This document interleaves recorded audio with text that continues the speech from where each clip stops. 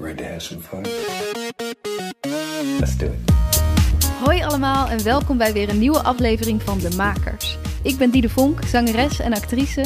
En sinds ik ook zelfstandig muziek en theater ben gaan maken, merkte ik net als veel van mijn collega-makers dat ik tegen een aantal dingen aanliep. Vragen als hoe krijg je je werk aan de man? Hoe hou ik mezelf productief? En wat doe ik als ik even geen inspiratie heb? Daarom ben ik deze podcast begonnen, waarin ik elke week een inspirerende maker interview en vraag om tips. Vandaag spreek ik zanger, acteur en theatermaker Marijn Brouwers. Deze aflevering is het eerste deel van een reeks van drie hele korte interviews die ik in Tapas Theater live met publiek heb opgenomen. Dus een beetje anders dan anders. Mocht je nou denken op het einde, die Marijn, daar wil ik gewoon een hele aflevering van en nog veel meer van weten, laat het me even weten en wie weet kan ik dat dan in de toekomst nog een keer doen. Marijn Brouwers is dus zanger en acteur en hij heeft een aantal hele mooie solovoorstellingen gemaakt. Vorig jaar werd hij opeens ernstig ziek en moest hij al zijn werkzaamheden stoppen. Nu gaat het gelukkig al een stuk beter weer met hem en is hij langzaamaan weer aan het spelen. We hebben het over makerschap, initiatief nemen, maar natuurlijk ook over wat het met je doet als je ziek wordt en hoe je weer terugkrabbelt. Heel veel luisterplezier. Hallo Marijn, wat leuk dat je er bent. Hallo. Of dat wij hier zijn in Mhm. Tapas Theater. Ik begin altijd even met de vraag: wie ben jij en wat maak jij? Dat is een hele leuke vraag. Mijn naam is Marijn Antonius Gijsbertus Brouwers. Wauw. Ooit geboren in Brabant en 2001 afgestudeerd aan de Kleinkunstacademie. En wat kun je dan als je van de Kleinkunstacademie afstudeert? Nou, dan word je geacht dat je eigenlijk alles kan. Toneelspelen, zingen, dansen, schrijven. Maar de praktijk leert dat het heel veel verschillende soorten talenten zijn die hun weg vinden in de praktijk. Eh, Carice van Houten of Wende Snijders of Agda de Munnik of Karen Bloem. Zijn allemaal voorbeelden van hoe divers het eh, is. En dat geldt eigenlijk. Ik heb lang gezocht naar wat ik wilde, wat voor theaterman, muziekman ik was. En ik heb ook veel grote producties gedaan. Eigenlijk het eerste deel van mijn carrière. En toen dacht ik, nee, ik wil echt zelf programma's gaan maken.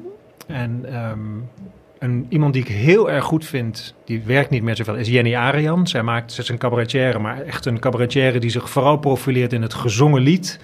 En ik dacht, ja, dat wil ik heel graag zijn. Dus ik wil muziektheaterprogramma's maken waarbij ik mooie songs zing, maar die ik eigenlijk niet alleen zing, maar ook vertel. Dus echt songs die je kunt acteren.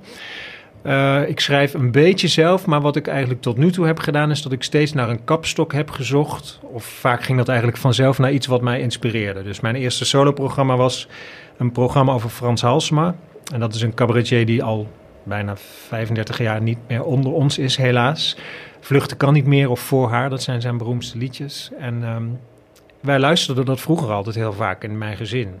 En ik had ooit een stukje over hem gelezen en er stond in een interview: ja, ik voel me altijd meer een, ik voel me altijd meer een zoeker in plaats van een vinder. En dat vond ik zo'n goede zin. Toen dacht ik, ja, dat gaat over mij. En dat was eigenlijk een soort trigger om daar een voorstelling over te gaan maken. Daarna heb ik een programma gemaakt, heb ik songs van Charles Aznavour vertaald in het Nederlands.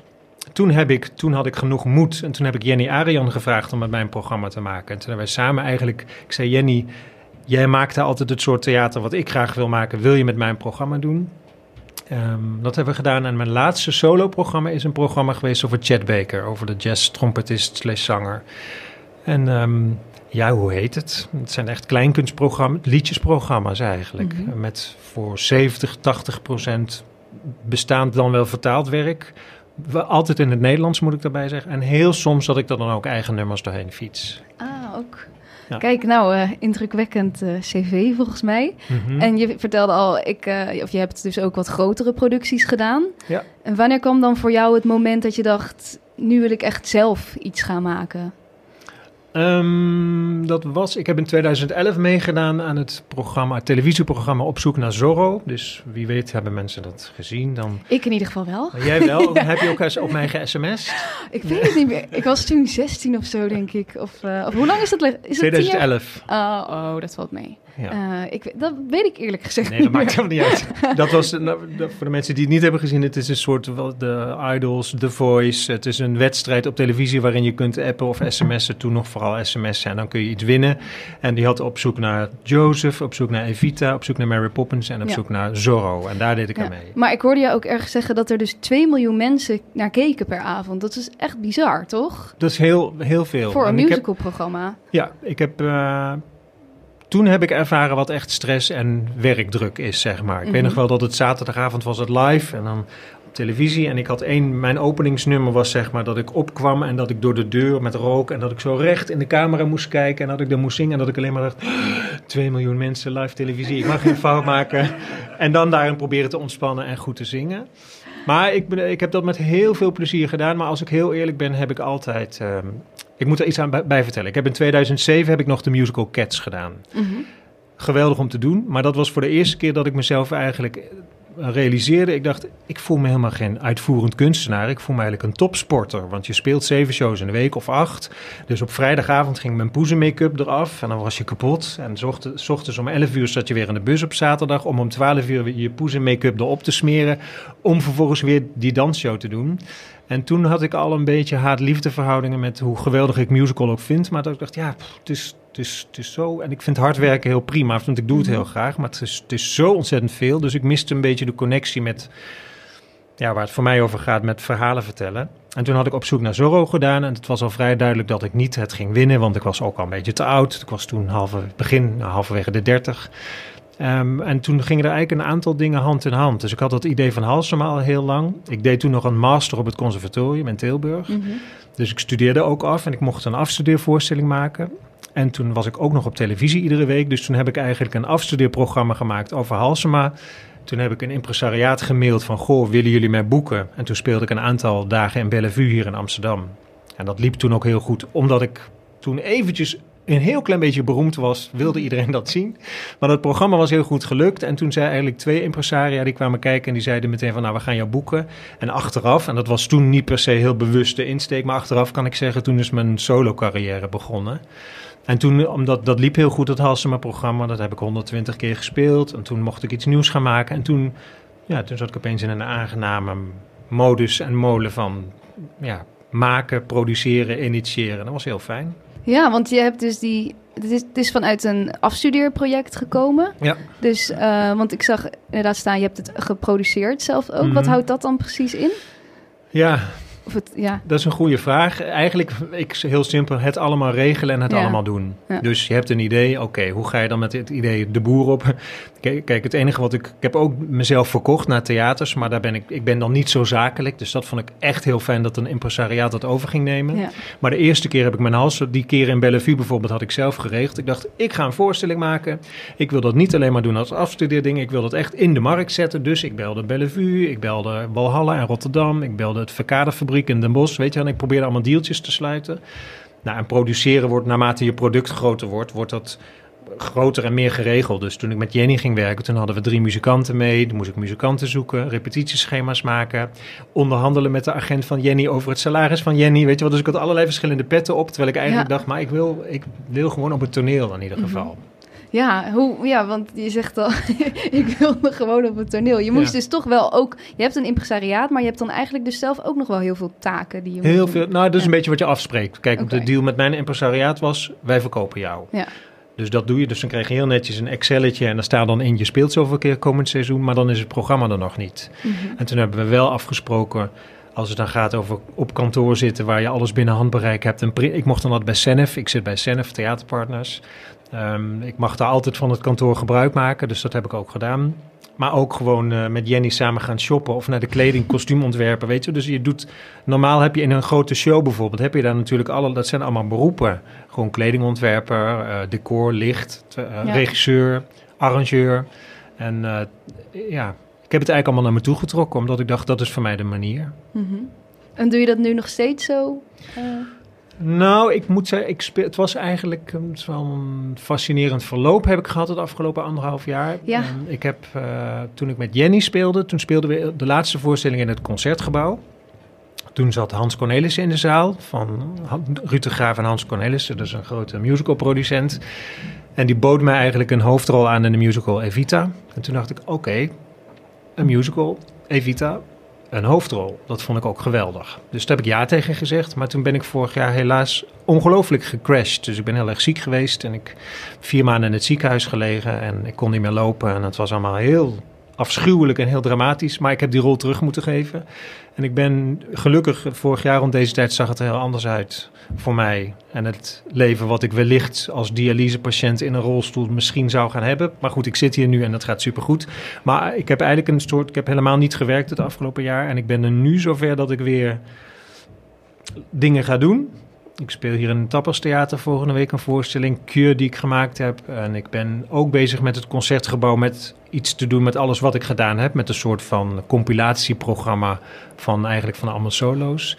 En ik ga wel een grote show weer doen in 2020. Maar ehm, ja, eigenlijk is op alle fronten is er gewoon, heeft iets in het leven mij op pauze gezet. Ja. Dus eh, ik kon even niet. En hoe is dat dan als, ja, als eh, zelfstandig ondernemer om dan opeens ziek te zijn? Wat, ja, wat dan? Eh, dat is, eh, nou ja, sowieso op alle fronten. niet gewoon sowieso zit afschuwelijk. Mhm. Omdat er heel- het gaat over heel veel dingen. Het gaat over identiteit, ambitie, maar ook ZZP'er. Nou heb ik de, het geluk en de luxe. Ik woon al 14 jaar samen met Dirk. En ehm we hebben, wij wonen samen in een huis, maar ik heb ooit zelf mijn huis verkocht. En dat verhuur ik nu. Dus er is, ik ben niet verzekerd, maar er komt wel een soort inkomen binnen iedere fijn. maand, waardoor, ik, waardoor het lukt, zeg maar. Maar het, zijn geen, het, zijn magere, het was een mager jaar. Het was eigenlijk een heel goed jaar als ik Evita zou hebben gedaan, maar het was een mager jaar. Mhm. Maar als ik heel eerlijk ben, is dat nog, vind ik dat nog het minst belangrijke van alles. Wat ik, wat ik ingewikkeld vind, is dat ik nu. eh, het is een soort rare mix dat, je, dat ik en heel dankbaar ben dat ik er ben, maar ook dat ik voel dat ik. Het voelt als helemaal opnieuw beginnen. Terwijl dat is niet zo. Ik bedoel, er gaan heus wel wat dingen lopen en zo. En zo'n grote musical 2020 is diezelfde producent geweest die mij dat heeft aangeboden, wat ik te gek vind. Maar. ehm, Je bedoelt eh, voor volgend, voor jaar, is je al iets ja, ik bedoel, ja, dat is, dat is, maar ik bedoel eigenlijk te zeggen dat er door wat er is gebeurd, is sta je gewoon on hold en moet Ja. je gewoon opnieuw opbouwen. Mhm. En dat vind ik in het klein ook theater maken. In het theater maken is ook iedere keer terug naar een nulpunt Ja. en denken, oké, en opnieuw beginnen. En dat begint dan bij een artistiek idee, maar dat begint ook bij het publiek dat je je afvraagt, oké, en wie zit er nu eigenlijk op mij, te, op, op dit te wachten en waarom maak ik het? Nou ja, dus hoe krijg je het naar de mensen toe? En was dat, dat was dus weer erger, dat- of ja, meer geworden toen je dus ziek werd en even echt stil moest staan? Of had je meer de tijd om daarover na te denken? Nee, nou wat het eigenlijk was, ik zou... Kijk, het plan was dat ik Evita zou hebben Ja. gedaan. En daarnaast stond alles al in de startblokken. Zou ik met de actrice Anne-Wil Blankers een programma hebben gemaakt. En dat ging niet. Dat was heel lang onzeker of ik goed uit het ziekenhuis zou komen. Dus dat ging helemaal niet door. En de wereld dendert gewoon door, weet je wel. Alles gaat door. Ja. Logisch en ook prima. Dus het is meer het gevoel dat je dan... eh, ja, hoe, hoe... Ik weet het niet. Weet de mensen, hoe krabbel je over... Ik weet... Ja, Ik heb het van tevoren nooit bedacht. Hoe krabbel je overeind als je neerstort? Dat is Mhm. een hele leuke vraag. En dat ben ik nu aan het doen. Dus hierna kan ik er een boek over schrijven. Of Ja. een programma over maken trouwens. Mhm. Maar dat is gewoon eh, hoe het gaat. Dus je, je kunt van alles willen en plannen en doen. Maar op een gegeven moment is er in een leven gebeurt er iets. En dan heb je het gewoon te doen met hoe het dan gaat. En ik had toevallig vanmiddag mijn impresariaat aan de lijn. En ik heb wel wat ideeën.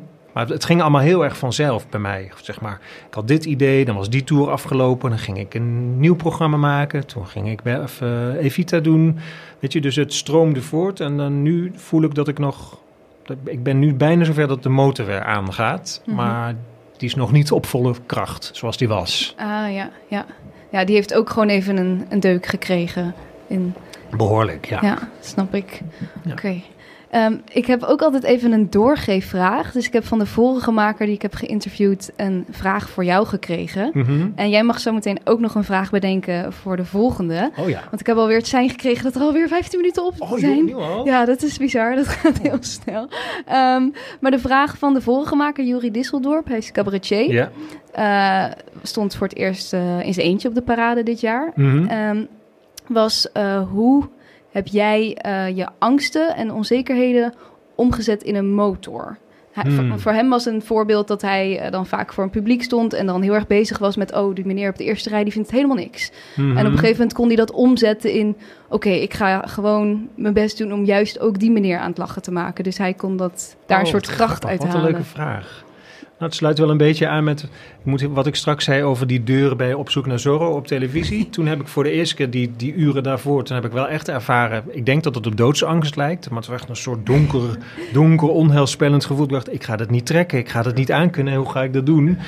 En dat ging uiteindelijk goed. En dan heb ik, daarna heb ik dat nog één keer gekregen in het concertgebouw. Maar wat ik toen heb, toen had ik een hele langzame opkomst ook. Wat ik toen heb gevisualiseerd, en dat werkte heel erg goed, is dat ik, ik had een intro van de muziek. En het enige wat ik deed was me voorstellen dat die mensen, dus dan, dus dan ja, al die mensen die iets van je vinden, dat dat aapjes waren. dus ik stond gewoon voor een kudde met aapjes te zingen eigenlijk. En dat was zo Ah. ontzettend vertederend en grappig. En daardoor werd het zo betrekkelijk allemaal. Oh, wauw. Een En, beetje ehm, zoals eh, het hele publiek is naakt, maar dan dus... Ja, ja, precies. Ja, aapjes. En ik ben ook, waar ik ook lering uit trek, is dat het eigenlijk al die keren, hoe groot de angsten ook zijn, het is dan ook, ja, het is, nee, ik kan dat nu zeggen omdat het goed is gegaan. Je put ook vertrouwen uit de ervaring die je hebt. Ja. Dus het is ook, eh, nu denk ik ook, oké, als ik dan weer zo'n onzeker gevoel heb om op te, op te gaan, je kunt dit gewoon doen, dit ga je nelen, weet je wel, je gaat het Mhm. gewoon naar je hand zetten. Ja, dat vind ik zelf toch ook altijd wel bijzonder. Dat je toch elke keer weer dan in zo'n diepe onzekerheid kan komen. Maar als je het een paar keer hebt gehad, weet je... Oh ja, dit heb ik eerder Ja. gevoeld. En Ja. toen kwam het ook goed. Maar wat ik wel fascinerend vind, is dat ook de redenen waarom je opeens zenuwachtig bent voor iets, of opeens kan iets heel onheilspellend voelen, dat je denkt van, hè, kom op, ik heb toch wel vaker, hier heb ik het een keer gehad, dat je, dat je voor 15 mensen speelt, waar ik normaal denk, dat draai ik mijn hand niet voor om, maar dat voelt dan opeens, is dat dan heel Ja. spannend. Dus Ja. ze zeggen dat dat, ik hoorde iemand zeggen dat naarmate je ouder wordt, dat het eigenlijk alleen maar erger wordt. Maar, Is dat zo? Oh, ja, nou, ja, precies. Ja, nou ja, we zullen zien Maar- hoe lang ik het... eh, maar voel je, voel je dat zelf ook zo? Dat het... eh, Mm, nou, het is wordt? meer zo, wij, kijk, ik heb dan nu een anderhalf jaar niet solo opgetreden. En stel je voor dat het concertgebouw zegt, ja, dat gaan we doen. Kijk, normaal had ik altijd het concertgebouw plande ik aan het einde van een tournee. Dus dan was je lekker ingespeeld, dan had ik lekker veel, ja, ben je echt gewoon, heb je een lekkere body, voel je je zeker. Stel je voor dat het concertgebouw nu belt, je mag volgende maand, dan zou ik wel ja zeggen, maar dan zou ik wel denken, wow. ja, Dus het heeft ook gewoon, net als met, ik zie het ook in die zin heel praktisch, het heeft ook met sport, net als met sport, je moet dingen gewoon blijven oefenen en Mhm. blijven prikkelen of zo. Dus ik moet maar vaak voor een kudde met aapjes staan, snap je? ja, Dan wordt dat minder eng. precies. Ook een spier. En nu is het natuurlijk gewoon weer even geleden. Ja, ja, dus door de afstand wordt het wat enger of zo. Ja. En dat hele concertgebouw, want je hebt volgens mij met elk programma in het concertgebouw gestaan. Ja, Eh, behoorlijk uitverkocht ook. Ja. En eh, is dat ook via dat impresariaat gegaan? Of heb nee, je dat is zelf... dan altijd, en dat vind ik dan een leuke, daarom vond ik het ook, vind ik dit ook een hele leuke podcast. En voor iedereen, wat ik eigenlijk, voor mij zijn dat de voorbeelden waarin ik heel erg ben beloond dat eigen initiatief beloond wordt. Mhm. Eh, ik heb gewoon gemaild en gezegd: luister, ik ben die en die en ik heb dat en dat programma. En ik denk, ooit toen had ik wel nog in het Halsema-verhaal. Halsema heeft ook, volgens mij was zijn eerste of zijn laatste concert, geloof ik. Heeft ook een keer in het concertgebouw opgetreden. Dus ik probeerde een soort van bruggetje te maken. Maar daardoor mocht ik komen en ja, toen had ik de mazzel dat het uitverkocht was en het ging heel erg goed. En dan, ik wil helemaal niet zeggen, nu ben ik een huisvriend van het concertgebouw, maar je bouwt dan wel wat op. Tuurlijk. Dus eh, ja, ik ben altijd een groot voorstander als mensen ideeën hebben. Ook al eens denk je, oh ja, nee, maar moet ik dat wel doen? Denk ik altijd, ja. Gewoon, je krijgt vaker nee, maar als je dan een ja krijgt, is het echt eh, super. Ja. En is dat, ja, of heb je nog een andere tip die je zou meegeven aan aanmakers die denken... Ehm, nou, ik, ik ben me ervan bewust dat het vandaag de dag gewoon heel, heel, dat er heel veel mensen zijn die het willen, iets maken en die op tournee willen. En het klinkt een beetje plat en naïef van gewoon doorgaan en volhouden, maar ik geloof daar wel in. Ik bedoel, en, het is, en dat is makkelijker gezegd, maar je moet een ongelooflijk lange adem hebben. Eigenlijk ging het bij mij ook pas vrij laat in mijn carrière dat ik dit ging doen, maar ook dat ik het durfde doen in ieder geval. Dus eh, ja, ik wil vooral iedereen stimuleren dat als je een droom hebt of een plan hebt of een gevoel hebt van ik heb iets geniaals, dat ik, eh, weet je wel, blijf het naar de mensen toe zenden tot je erbij neervalt en het zal, eh, iemand zal aanhaken en dan kan het echt gaan lopen. Heel mooi. Dankjewel. We hebben het, eh, het signaal al gekregen, toch? Of niet? Moet ja. ik de vraag nog stellen? Oh, ja, dat, ma- dat mag ook achteraf. Oh, ja, als je nog even daarover Oh, na ja, wil goed. denken. Of heb je nu gelijk een vraag? Is de, degene die na mij komt ook de volgende gast? Eh, ja, Hanneke Last. Ja. ja. Nou, dat vind ik het wel. eh, ik vind het wel een leuke vraag. En Hanneke, Hanneke, waar begin jij als je een. Waar ben je in het geval? Ze heeft een programma wat nu gaat over het begin. Waar ben je begonnen? Waar ben jij begonnen? Mooi. Ja, ik vond namelijk een heel mooie voorstelling. Ik heb het gezien, maar ik ben dan vooral benieuwd eh, hoe dat is ontstaan. Oké. Nou, heel goed. Ga ik die aan haar vragen. Oké. Heel Ja, erg bedankt. Graag gedaan. Kort maar krachtig. Volgens mij hadden we nog heel lang door kunnen praten en ik had hem nog veel meer willen vragen. Mooi hoe hij benadrukt dat eigen initiatief echt wordt beloond. Hij had natuurlijk het geluk dat hij wat bekendheid had opgebouwd met Op zoek naar Zorro, maar dan moet je natuurlijk jezelf nog wel echt bewijzen als soloartiest. En dat heeft hij met zijn hele sterke voorstellingen zeker gedaan. Iets als contact opnemen met het concertgebouw lijkt natuurlijk super groot en misschien zelfs onbereikbaar, maar hij is het gewoon gaan doen en heeft daar ondertussen zelfs een goede relatie opgebouwd.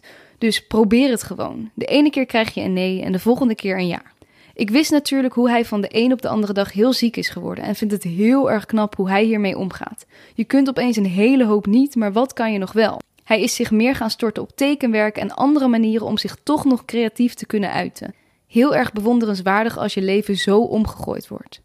Hij is dus weer aan het spelen. Hou daarvoor zijn site marijnbrouwers.nl in de gaten, want daar komen weer mooie dingen aan. Heel veel dank aan Marijn voor het gesprek en tot volgende week. Vond je dit een leuk gesprek? Abonneer je dan op de podcast en volg de Makers Podcast op Facebook en Instagram. Delen en reviewen is heel erg fijn en laat het me vooral weten als je nog gasten of vragen hebt die je graag wilt horen. Volgende week staat er weer een hele bijzondere, inspirerende gast voor je klaar. Deze podcast werd gemaakt door mij, Diede Vonk, en de muziek is van David Zwarts.